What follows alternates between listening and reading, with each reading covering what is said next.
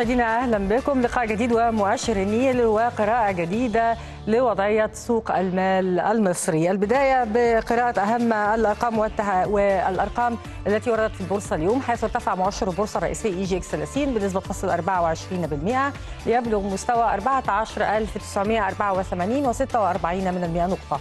بينما تراجع مؤشر الأسهم الصغيرة والمتوسطة بنسبة فاصل 11% ليبلغ مستوى 712 و42 من المئة. انخفض أيضا مؤشر EGX 100 الأوسع نطاقا بنحو فاصل 8% من المئة ليبلغ مستوى 1798 و76 من المئة نقطة.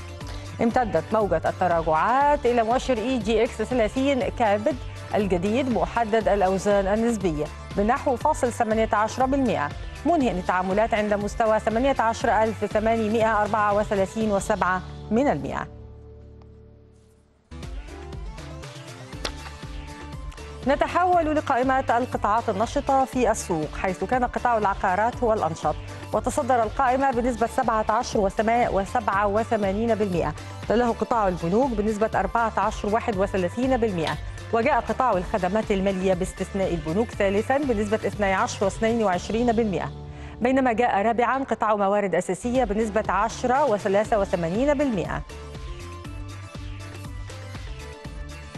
بالنسبة لفئات المتعاملين داخل السوق. اتجه المستثمرون المصريون نحو الشراء واستحوذوا على نسبة 78 و17% من إجمالي التعاملات. كما اتجه المستثمرون الأجانب نحو الشراء أيضا واستحوذوا على نسبة 14 و12% من تعاملات السوق. اتجه العرب نحو البيع واستحوذوا على نسبة 7 و55% من تعاملات السوق. اتجه الأفراد نحو البيع واستحوذوا على نسبة 54 و72% في حين مالت المؤسسات نحو الشراء وحصلت على نسبة 45 و27% من إجمالي التعاملات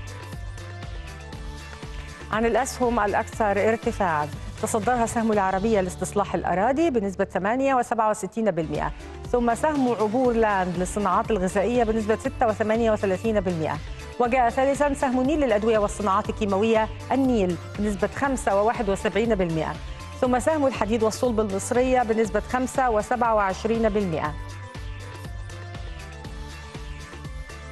عن الأسهم الأكثر انخفاضا تصدرها سهم الوطنية للإسكان للنقابات المهنية بنسبة 5 و97% ثم سهم الإسكندرية لأسمنت بورتلاند بنسبة 4 و78% تلاه سهم التوفيق للتأجير التمويلي بنسبة 3 و23% وحل رابعا سهم القاهرة للدواجن بنسبة 3 و11%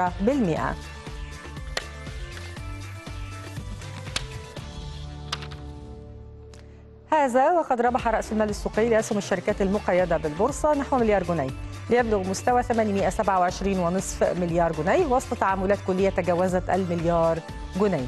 للمزيد من التحليل والتوضيح بيسعدنا انه بينضم إلينا اليوم في استوديو نيل الأستاذ محمد عبد الهادي خبير أسواق المال. مشرفنا أستاذ محمد. أهلا وسهلا. أهلا بيك يا فندم. اسمح لنا ان إحنا نبتدي على طول مو... عملية التحليل والتوضيح بعد مطالعة التقرير كالعادة. اتفضل إلى التقرير.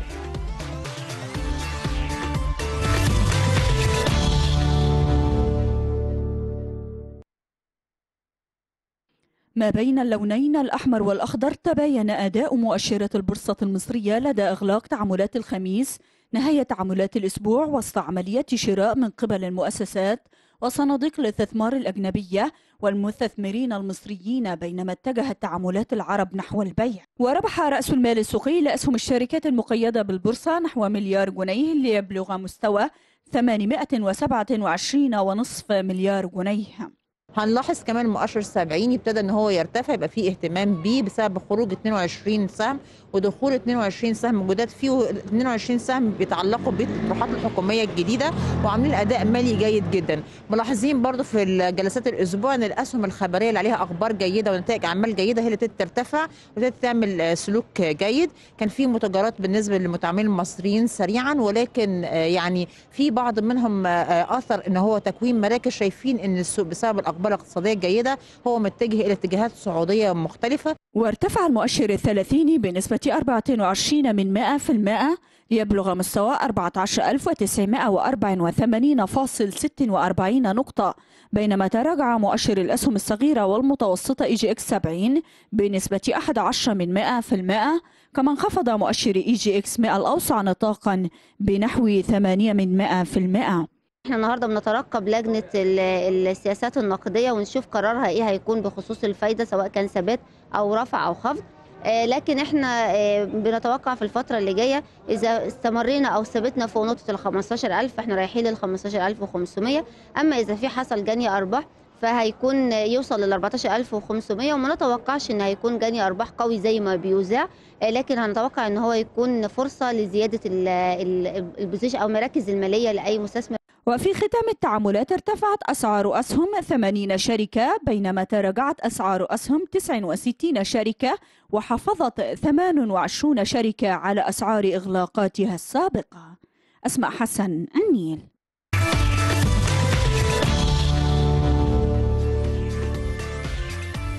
أهلا بكم من جديد. البورصة لها فترة في حالة ارتفاع وتحقيق آه، يعني تعاملات جيدة بشكل كبير وأرقام مميزة. التباين اليوم هل هو متوقع؟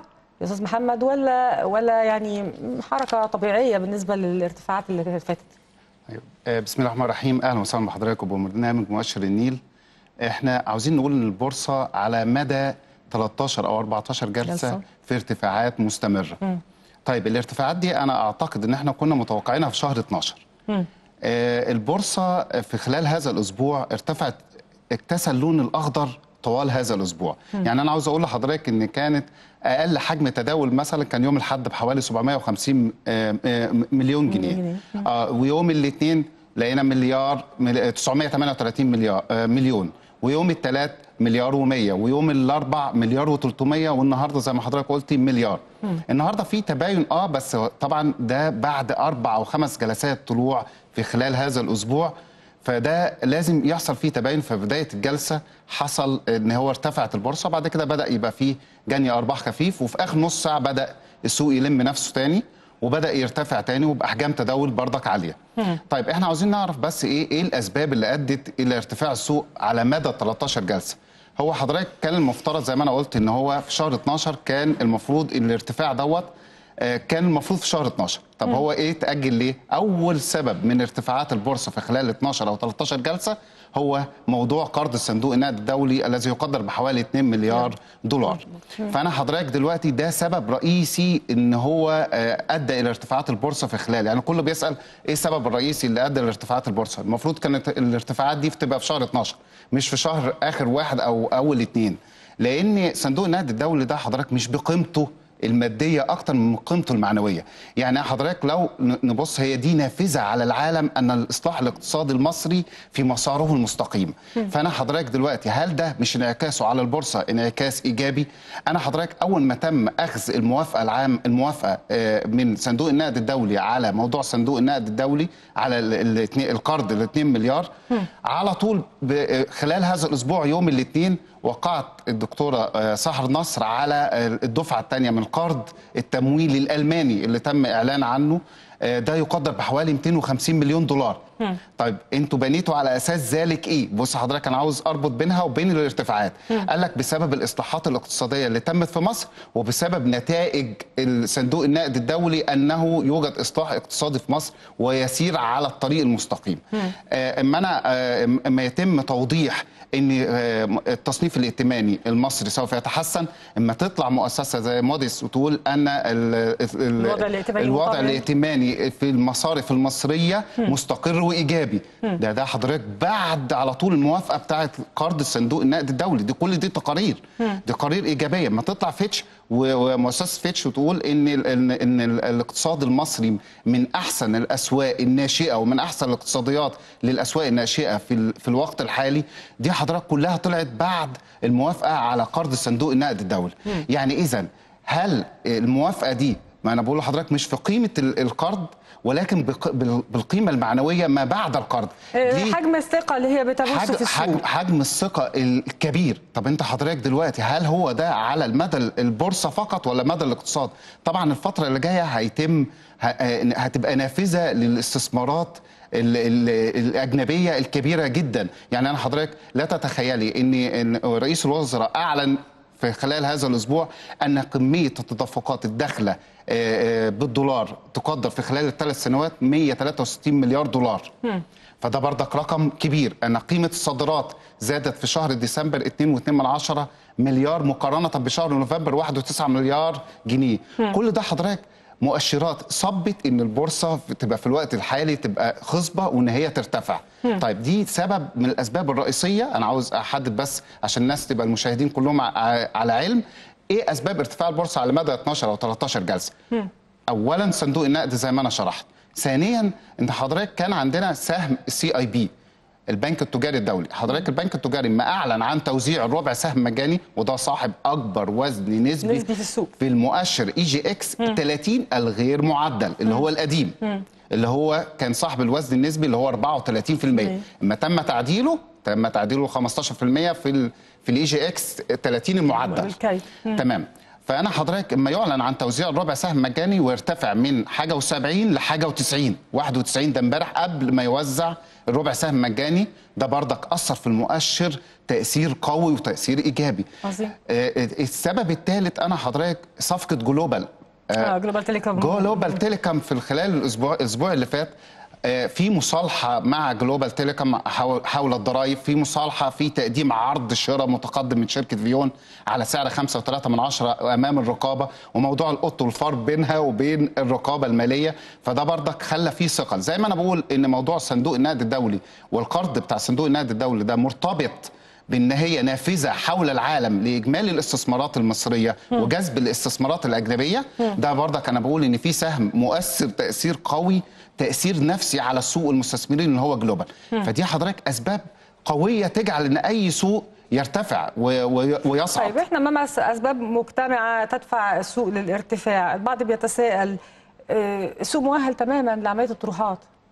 السوق مؤهل حضرتك لموضوع الطروحات اللي إحنا بقالنا حضرتك سنين فيها ولكن هو أنا برضك بشيد بوزير قطاع الأعمال الدكتور هشام آه، اما أما أجل الطروحات حضرتك أنا كنت في لقاء مع حضرتك كنت بناشد بنتكلم في نفس النقطة. آه بتكلم وبناشد لو حضرتك آه، في لقاء أنا ناشدت وزير قطاع الأعمال إن هو ياجل الطروحات لأن لو طرح الطروحات في شهر 10 كانت هتبقى مشكلة لأن في الفترة دي كان السوق نازل آه، نازلة قوية جدا فكانت الطروحات كانت هتفشل وأنا حتى قلت إن الطروحات هتفشل. فهو أجلها حتى تتحسن السوق. وبرضك أنا طلعت برضك وقلت إن ده مؤشر قوي مش لازم كل الناس كانت بتطالب إن الحكومة ده رئيس الجمهورية يطلع يشوف البورصة اللي بتنزل على شهر 10 وشهر 11 وشهر 9 9 و10 و11 كان السوق بينزل. وكله كان بيناشد ولكن الحكومة عملت حركة ذكية جدا إن هي أعلنت عن تأجيل الطروحات. وده كان شيء إيجابي إن هي مش هتطرحه إلا في سوق قوي.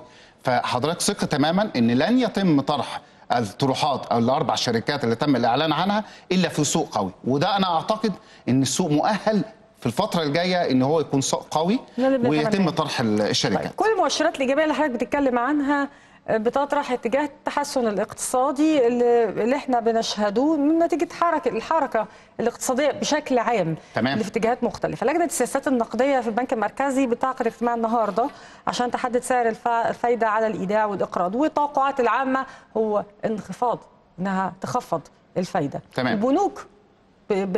يعني فعليا من فترة كانت قللت نسبة الفايدة نوعا ما، إيه المتوقع من المركزي وإيه المتوقع في السياسة المصرفية للبنوك بعدها؟ أحييك على السؤال ده. طبعا السؤال ده هو في محله طبعا لأنه إحنا كمان ساعتين بالظبط هيعلن عن هل هيتم تثبيتها. هو طبعا الاحتمال الأولاني إن ارتفاعها دي مستحيل. ده أكيد. هي... آه. فهو لا إما هيثبتها لا إما هيخفضها. طب تعالى حضرتك تعالي ندرس آه، ارتباط عشان المشاهد يبقى يعلم. مدى ارتباط الفايدة وتغيرها ايجابا أو ارتفاعا أو انخفاضا ده مرتبط بالتضخم. حضرتك التضخم على سنة 2018 لو بدأنا في 2018 كان التضخم في شهر يناير حوالي 17% في شهر فبراير كان 14% فهو خفض الفايدة زي دلوقتي لأن لقى مبرر إن تخفض إن التضخم قل. واستمرت طول سنة 2018 الفايده 13% إلى أن وصلنا لشهر سبتمبر وصلت لغاية 15.5% وجينا في شهر أكتوبر كانت أعلى تضخم حدث في 2018 كان 17.7% وانخفض في نوفمبر ل 15.4% وده كان انخفاض سنوي حضرتك وشهري في نوفمبر. أما أنا آجي في شهر ديسمبر والاقي إن التضخم حوالي 12% التضخم اللي أعلن عنه من قيمة حوالي آه، يومين ثلاثة كان 12.7 من 10% فأنا دلوقتي كان قبل ما يعلن عن التضخم ل 12.7 على الرغ- على الرغم إن هو فعلا لو إحنا قسناه على السنوي هنلاقي إن هو انخفض ولكن على الشهري إن هو ارتفع. فأنا أعتقد اعتقادي الشخصي إن هو ما عندوش إلا خيار واحد بس. انخفض. آه، يعني أنا مش آه، يعني حتة التخفيض ديت مش أنا مش ميال إليها قوي امال إيه؟ مال إن هو؟ يثبت آه إن يثبت الفايدة. لأن حضرتك هو زي ما بقول لحضرتك إن التضخم كان في ديسمبر كان هو المفت- المفترض إن هو كان يخفضها في ديسمبر ما خفضهاش. فأنا حضرتك أنا أعتقد اعتقادي ده اعتقادي الشخصي يعني هيتم إعلانها كمان ساعتين إن هو ما عندوش خيار إن هو يثبت الفايدة في هذه المرة إن هو لازم يثبت الفايدة. وبعد كده يتم تخفيضها. إحنا هن يعني في الانتظار نشوف إيه وضعية. الفايدة هيحصل لها إيه. آه طيب إحنا امام مؤشر جديد ظهر في منذ أسبوعين تقريبا. آه بالظبط ال EGX 30 آه هو كانت بدايته كانت آه، كانت بدايته أيضا يوم خميس أعتقد الأسبوع قبل الماضي تمام. كانت بداية هذا المؤشر. كان وقيل إنه جمع ما بين مؤشرين وعمله هيؤدي لمزيد من الاستقرار والوضوح والشفافية اللي هي المتطلبات اللي كنا بنتكلم عنها في البورصة منذ فترة. أيوه أخبار المؤشر إيه أنا حضرتك أخبار المؤشر آه، بالمناسبة يعني هو عملوا المؤشر المعدل EGX 30 المعدل بيختلف عشان بس كل الناس تعلم إن هو بيختلف عن المؤشر EGX 30 العادي اللي إحنا بنقول إن هو وصل النهارده هو كونه 14900 30 هو اللي ملخبط ملخبط ما هو ملخبط. الدنيا حتى هو على شاشات الأسعار ما حدش من المستثمرين حتى شايفه. يعني يعني ما حدش يعلم بيه لأن ده آه، خاص بالمؤسسات أو بالصناديق حاجة زي كده. وأنا هقول لحضرتك ليه. يعني إحنا طالبنا كتير وأكيد في حضرتك في لقاءات كثيرة مع خبراء آه، طالبوا بإن EGX 30 يبقى ما فيش سهم مسيطر على السوق. السوق. إحنا السهم ده ما بيرتفع المستثمر ما بيحسش بارتفاع السوق عشان خالص. يبقى الارت- يعني المؤشرات ال- حقيقية المؤشر. حقيقي وواقعي. طب هم عملوا لنا ال EGX 30 المعدل بحيث إن إن إن ما تزيدش أعلى وزن نسبي عن 15% اللي قبل كده حضرتك في ال CIB كان الوزن النسبي 34% هو دلوقتي ما بيزيدش عن 15% فده بيعبر تعبير حقيقي عن السوق. ولكن الناس مش مش مش ما شفتوش لأنه مش موجود على الشاشات. برضك هو ده عالق في الأذهان المؤشر EGX 30 العادي اللي هو اللي حضرتك أشرنا عليه في, أول اللقاء إن هو وصل لغاية 15000 وهكذا وبرضه بيؤ- بيؤثر عليه البنك التجاري. المؤشر ال EGX 30 المعدل ده خاص بالمؤسسات والصناديق حتى لسه حتى الآن ممكن أنا أعتقد إن هو بعد فترة الدنيا بس هترجع ل EGX 30 اللي هو المعدل وتبدأ الدنيا تبان وضوحها يعني هو لسه حتى الآن في في في في دور التجربة يعني بالمعنى الأصح. فحتى المست- المستثمرين كلهم مش موجود على شاشات شاشات التداول. فهم كل عالق في ذهنهم اللي هو EGX 30 العادي وليس المعدل. آه، خلينا ننتقل بيك للاتجاه العالمي شوية ونتكلم عن العملات وسوق العملة أكتر. إحنا بنشوف إن بريطانيا أخفقت نوعا ما في الخروج باتفاق يريحها كإنجلترا يعني بحجم ثقلها الاقتصادي وتطلعاتها في الخروج من الاتحاد الأوروبي باتفاق بريكزيت ملائم ليها. تمام البعض بعد هذا أشار إلى أن اليورو كعملة موحدة هتشهد آه، سلسلة من الانهيارات بعد تلميحات بخروج بعض الدول الأخرى من الاتحاد الأوروبي. وبدأوا بالإشارة إلى القارة الأوروبية أنها القارة العجوز وأن هذا التجمع يشير إلى نوع ما من أنواع التضاؤل الاقتصادي لتأثير القارة الأوروبية في الوضع الاقتصادي العالمي تمام. مستقبل اليورو وبعدين هنتكلم عن الدولار. طيب حضرتك هو زي ما انت حضرتك أشرت طبعا آه، إن إن في دول كثيرة عاوزة تخرج من الاتحاد الأوروبي. يعني حضرتك إحنا شفنا الفترة اللي فاتت إن في اضطرابات في فرنسا اضطرابات آه، في دول مجاورة لفرنسا. في اضطرابات كثيرة لأن كل دولة عاوزة آه، زي ما بيقولوا كده إن هي تخرج من الاتحاد الأوروبي وخاصة إنجلترا. يعني هي اللي باين على الاذهان وباين على السطح إن إنجلترا بتحاول الخروج بكافة الطرق من الاتحاد الأوروبي. لأن هي حاسة إن هي أقوى هي حاسة زي زي مثلا إحنا بالنسبة أن لنا. هي مش المستفيدة مش المستفيدة خالص آه، يا من فندم من. من وجودها في الاتحاد الأوروبي. فهي بتحاول إن هي تتقلص دورها إن هي تخرج من الاتحاد الأوروبي. حتى لو حضرتك لو تلاحظي إن كل فترة إنجلترا بتحاول إن هي في البرلمان إن هي تخرج من الاتحاد الأوروبي وتخفق. تدخل يعني أنا على مدار حضرتك سنة أو أكثر برضه كنا بنتكلم ان إن إنجلترا هتخرج وفي الآخر تفشل في خروجها. ده بيؤ- بيؤثر على اليورو طبعا لأن أنا أي اتحاد حضرتك بيؤدي إلى إيه؟ إلى قوة. فأنا حضرتك لو إحنا وجدنا إن اليورو لو آه اليورو في الفترة اللي جاية هو فعلا هيضعف وفعلا هيقل وده باين يعني هو ده بس باين. إحنا أمام اقتصاد لمنطقة اقتصاد قوي حتى الآن بشكل كبير ومؤثر في العالم ككل. ده طبعا أوروبا دي أقوى اقتصاد يعني عالمي بعد أمريكا. فأنا بالظبط. حضرتك آه، ولكن برضك هو التأثر ممكن يجي في العملة بتاعتها أكتر من أي حاجة تانية. نتيجة عملية التفتت نفسها اللي ممكن تحصل. بالظبط يا فندم. آه. يتأثر بمقدار قد إيه؟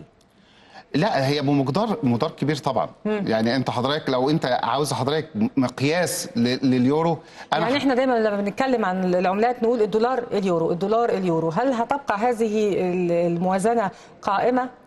لا لا لا يا فندم. أنا أعتقد إن هو الفترة اللي جاية هتبقى الدولار فقط واليورو هيضعف تماما. يعني برضك أنا حاسس إن هو هيضعف أكتر من يعني الدولار هيبقى في نفس قوته.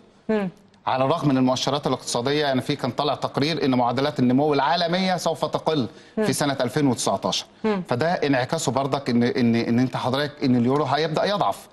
فده واضحة يعني. طيب وضعية الدولار بالمقارنه بوضعية اليورو مع اقتصاد بيتحرك بشكل جيد هو اقتصاد الولايات المتحدة الأمريكية مجموعة ضخمة من الإجراءات الاقتصادية اللي بتتخذها بيتخذها ترامب في هذا الاتجاه لحماية اقتصاده مزيد من قوة عملته آه، توفير فرص آه، عمالة وما شابه.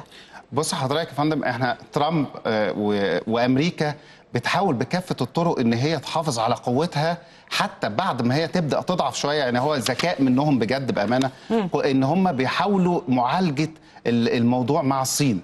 يعني حضرتك في اتفاقيات كبيرة جدا إن هم يبقى في تبادل تجاري قوي مع الصين. يعني هم بيشوفوا إن أقوى دولة أو مؤشر أقوى دولة في الفترة اللي جاية هتبقى إيه؟ وهم بيتحدوا معاها. وده شيء يحسب ليهم مش ضدهم. فهم بيحاولوا بكافة الطرق إن هم يعملوا تبادل تجاري مع الصين بقوة جا... ده مؤشره على الدولار إن هو هيستمر في الارتفاعات. يعني أنا برضك حتى إحنا هنا في مصر حضرتك أنا أتوقع عكس الناس كلها إن هو الدولار هيبدأ يزيد مش هيبدأ يبدأ يرتفع مرة أخرى. يرتفع مرة أخرى يا فندم. يعني أنا أعتقد إن هو لازم هيرتفع لأن حضرتك حتى في الموازنة العامة للدولة رفعت سعر الدولار من 17 آه، 24 لغاية في الموازنة العامة 2018 2019 ل 18 جنيه. ف- و- و- وأبقى على سعر الدولار الجمركي عند ال 16 ثبت أي ثبت، ثبت عن آه. 16 آه. طيب في ال- في المقابل بقى التأثير ده على الاقتصاد العالمي. عملية التراجع الأوروبي المتوقعة في مقابل الصعود الأمريكي والصعود الصيني الحالي وتأثيرها على الاقتصاد العالمي بشكل عام ومن ثم البورصات. هي طبعا البورصات هو زي ما بقول لحضرتك إن في تقارير طلعت كتير إن معدل النمو هيقل.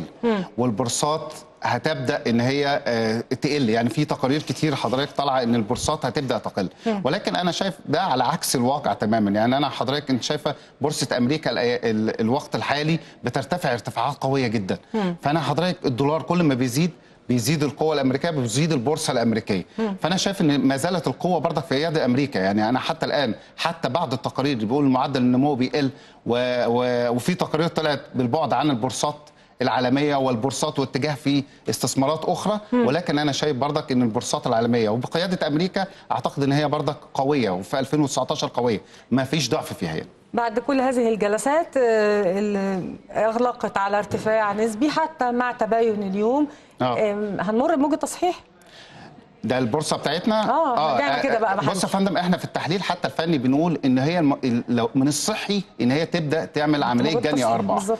آه لأن جني ارباح حضرتك بتخرج مستثمر وتدخل مستثمرين وتبدأ في قوة تانية للسوق تدفعه. لكسر نقطة آه، مقاومة تانية. بس السوق ما بيرتفع كده أنا حضرتك بشبهها كده زي ما حد طالع على السلم فلازم ياخد نفس وبعد كده يكمل الصعود. هي دي البورصة بتاعتنا بالظبط. فلو طلعت مرة واحدة شوت هتنزل برضو مرة واحدة. هتنزل مرة واحدة. بس ال ال في في خلال هذا الأسبوع هي بتعمل حاجة. يعني جميلة جدا في التحليل الفني إن هي بتصحح ممكن في نفس الجلسة. وده حدث في بعض الجلسات في خلال هذا الأسبوع إن صححت في نفس الجلسة وبعد كده تبدأ تطلع تاني. ولكن أنا أتوقع إن هي من الصحي. يعني أنا حتى لما بطلع في تقارير وأقول إن هي المفروض إن تطلع يبقى في جني أرباح في خلال الأسبوع القادم الناس بتزعل. لا لا ده ما يخوفش ما يخوفش بل بالعكس ده يطمن. ده يطمن لأن آه. هو حضرتك إحنا قلنا عند ال 14800 لا لازم السوق يحصل فيه جني أرباح. فبدات فيه ثلاث حوالي جلسات بدات تعرض البورصة عرضت فيهم في خلال ثلاث جلسات وبعد كده انطلقت لل 15000 مش معنى ذلك إن الأسبوع اللي جاي يبقى هيحصل فيه جني أرباح إن يبقى البورصة بتاعتنا ضعفت لا بالعكس في أموال دخلت كتير. أنا بقول لحضرتك آه، قيمة التداول الأسبوع الماضي كانت 11.7 من 10 مليار جنيه. على عكس الأسبوع اللي قبله كان 7.7 من 10 مليار جنيه. فده طبعا بيدي قوة للسوق. يعني حتى لو حدث جني أرباح خلال الأسبوع القادم ده شيء صحي إن هي تستكمل الصعود. بالتأكيد. أستاذ محمد عبد الهادي أنا بشكرك على وجودك معنا النهارده. شرفتنا في مؤشر أمرك يا فندم. مشاهدينا الأحد القادم. مع بداية التداول في البورصة المصرية لقاء جديد تحليل جديد وعالم المال والأعمال في مؤشر شكرا لك.